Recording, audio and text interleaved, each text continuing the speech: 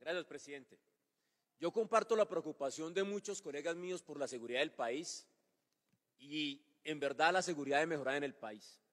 Lo que no comparto es el manoseo, la mentira y el engaño. Escuché un citante decir que soy policía. Y la policía y el doctor de la réplica es congresista. Nunca ha portado un uniforme, nunca ha sido una requisa, nunca ha arriesgado su vida. No sabe montarse a una moto, hace una requisa. Simplemente viene a manosear los muertos y las víctimas y a burlarse de la policía. Ojalá fuera policía. Ojalá. ¿Para que no cae arriesgar la vida por 3 millones de pesos, por un millón ochocientos y no a ir a hacer payasadas aquí con 35 millones de pesos? Lo invito a que sea policía un día, ojalá y arriesgue su vida y no se burle de los policías que muchos salen y no salen a volver a su casa. Pareciera que antes de Petro viviéramos con en el país de Alicia las Maravillas. Aquí no pasaba nada, pues. Nos dejaron un país donde el clan Golfo creció en 100 municipios. En el 50% del país, el 50% de los departamentos tienen presencia del clan Golfo. El ELN les creció como en 2.000 personas en el gobierno del Centro Democrático. Las disidencias coparon el país.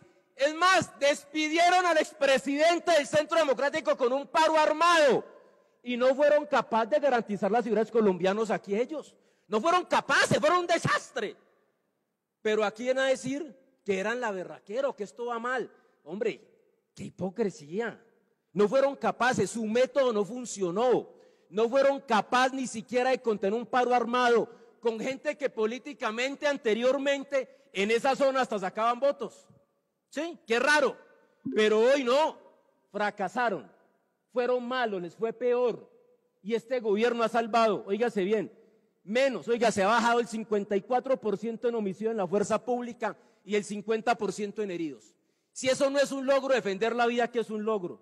Tuve que escuchar un citante decirle al general de la policía cómo manejar la policía.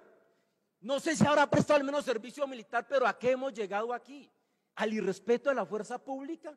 ¿Ustedes creen que a un comandante de tropa no le duelen cuando mata un miembro de su, tropa? ¿Ustedes creen que están más capacitados para ser generales?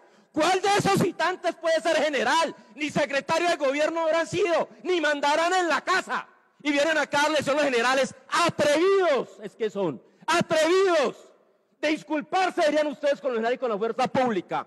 Dice que decir cómo se maneja la policía. Hágame el favor, hágame el favor. Muéstrame las diapositivas, por favor, que no mis diapositivas. Dijeron que no, que el problema de Otoniel. No, ahora tenemos un problema. Doctor Tirana, con todo el cariño y respeto, las cámaras de seguridad no sirven en Neiva y el alcalde de Neiva es de ustedes. La responsabilidad de esas cámaras es del gobierno de Neiva. Yo le invito a que usted lo apriete, obligue a su gobierno a que usted cumpla con los ciudadanos de Neiva y no le traslada lo que no hace el alcalde que usted eligió al gobierno nacional. La responsabilidad política aquí es de cada quien. No pueden decirle al ministro entonces que la alcaldía no hizo mantenimientos a las cámaras y entonces ahora el problema es Petro. No, eligieron un mal alcalde, tanto que hasta lo destituyó la Procuraduría. Hay que exigirle el resultado a ese alcalde. Pero no está bien, doctor Tirana, ir acá tras la responsabilidad del gobierno Petro. Escuché otro citante diciendo que el problema de la oficina de Envigado y la narcopolítica, los mafiosos y la política. No, por, doctor, le quiero decir que en ese tema de la oficina de Envigado y la política. Un minuto para cerrar su intervención. Que él va a tomar los, me acaba de dar el doctor los minutos de él. Muchas gracias, Parrado. Que el que era primo de Pablo Escobar es del Centro Democrático.